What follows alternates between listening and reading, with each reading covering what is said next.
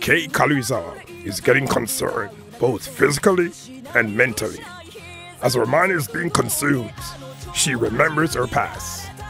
Loneliness, cruel treatment by classmates, bitter memories that she would like to forget. On the other hand, Ryuen also recalls his past as if looking back on his own existence. The basis of his own strength, the belief that even if he loses, he will always win in the end. To achieve this, you will not hesitate to use any means necessary. At the very end of the competition, when Kaluiza was reaching her limits, a student comes to her.